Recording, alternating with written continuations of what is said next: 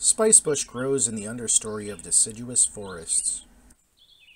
The fragrant leaves of this shrub are eaten by only a few animals. One of those animals is the spicebush swallowtail caterpillar.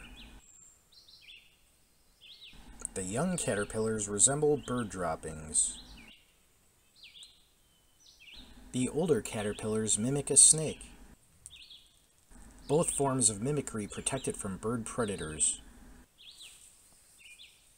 It's easiest to find these caterpillars by looking for folded or curled leaves.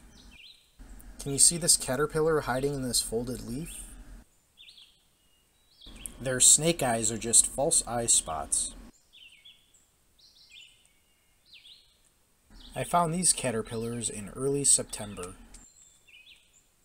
They'll overwinter as a chrysalis. The adults are a magnificent black with a rainbow of other colors. This one is sipping nectar from wild bergamot.